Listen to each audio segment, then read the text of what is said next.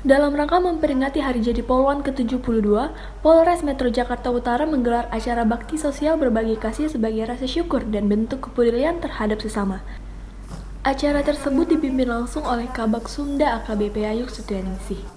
Sebanyak 50 paket sembako yang dibagikan di tiga titik, yakni yang pertama di Yayasan Lansia Bunga Bakung Ministry. Acara penyerahan dilakukan secara simbolis kepada Ibu Rita selaku Ketua Yayasan.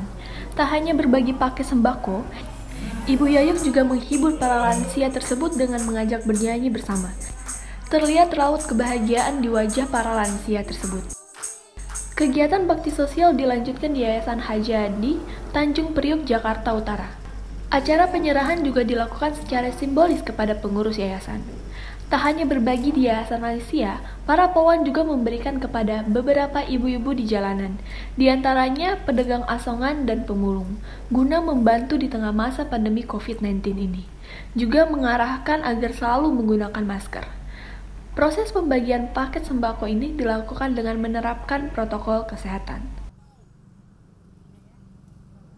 Sebagai rasa syukur, kami Poluan Polres Metro Jakarta Utara melaksanakan kegiatan bakti sosial.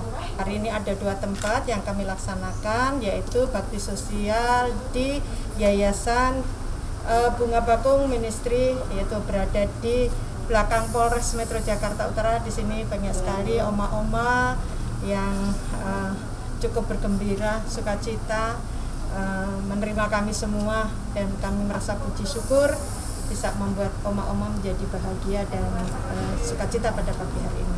Dan selanjutnya kami akan menuju ke Yayasan Hasmah Nur. Hasmah Nur itu tempatnya di wilayah Tanjung Priok.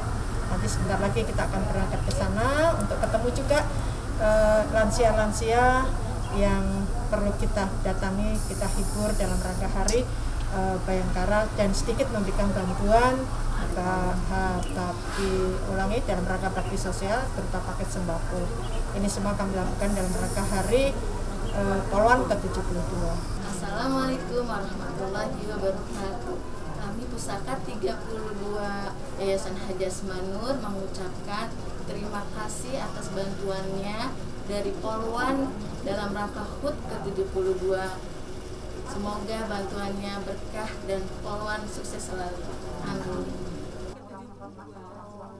Dari Jakarta, tim Tribrata TV, salam Tribrata.